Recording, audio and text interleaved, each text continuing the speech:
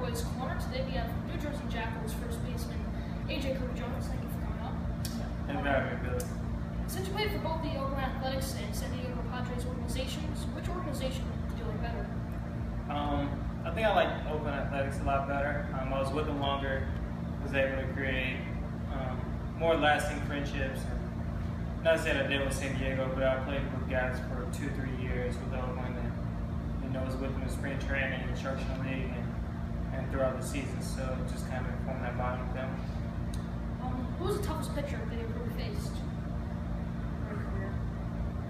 Um, I would say probably Yordano Ventura whenever he was in Double A.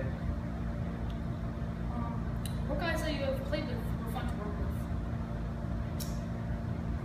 Ooh, there's a bunch. Uh, I played with a lot of good characters. Um, you know, there was a guy named Ryan Lipkin with Oakland. He's, like one of my good friends, roommates. He was pretty crazy. I Always a good time.